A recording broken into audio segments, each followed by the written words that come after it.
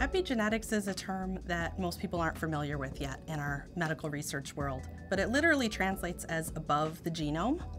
All of the cells in your body have exactly the same DNA, and yet when you look in the mirror, you can very clearly see skin and eyes and hair and all the different tissues that are made up.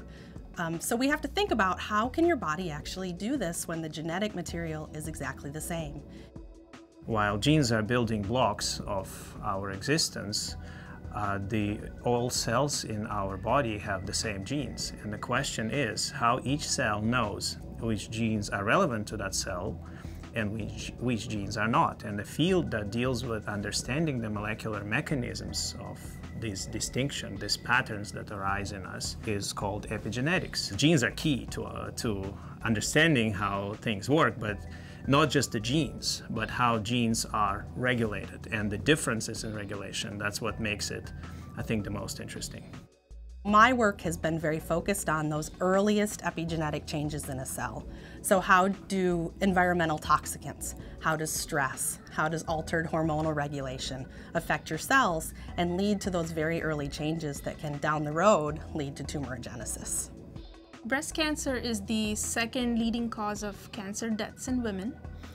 90% of women, when they're first treated, uh, do survive after their initial treatment. However, the cancer can recur, it comes back 5, 10, even 15 years after uh, the initial treatment. Until recently, it was commonly thought that the reason for cancer is genetic. There are mutations or certain genes that get lost so these events cause cancer. University of North Dakota is a wonderful place for one big reason. We have this group of researchers that work together, we collaborate together, and I think that is one of the most exciting things about working here. We treat animals with drug of abuse such as cocaine and amphetamine in order to test how these drugs affect future generations. We want to discover how drug of abuse um, change gene expression and how these change are passed down uh, to future generations. Well, the success of our uh, research group uh, definitely will not be possible without the help and the support of our chair, our dean, and the administrative staff. I feel very uh, fortunate and appreciative that the University of North Dakota uh, support and invested in our scientific ideas. The main attraction for me, and I think it should be for many scientists, is to understand how things work, how the genes work. And understanding how genes work, I think, today is one of the coolest things you can you can imagine. We've received a grant at the University of North Dakota School of Medicine and Health Sciences from the National Institutes of Health that will be utilized towards doing research for epigenetics. It funds a total of five young investigators to pursue their own research goals, but also really builds epigenetics capacity um, throughout the university. This is a really important area for North Dakota as well because many of the diseases associated with aging have very strong epigenetic components.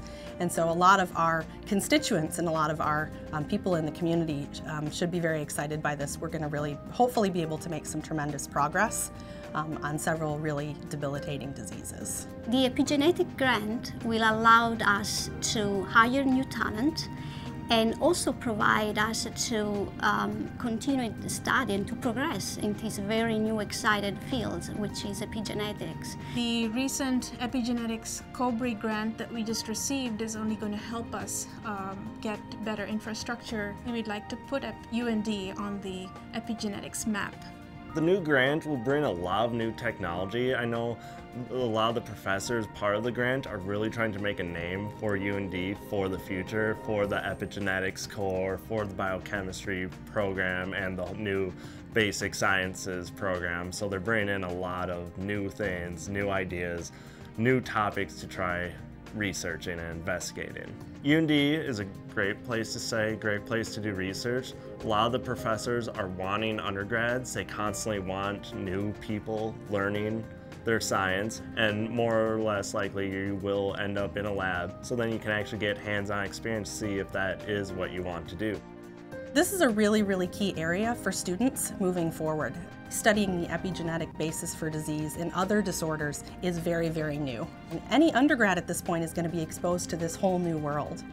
For years, one of the biggest projects in science was sequencing the human genome. And we thought that was going to be the be-all end-all. The order of complexity of the epigenome is, is really staggering in comparison to the genome. And so we're going to have to devote a lot of time and energy and resources over the next decades to really focus in on the epigenetic changes in various diseases and how we can target them. And that's really exciting and really encouraging for the future. I think it's going to be an area of huge growth for students coming forward.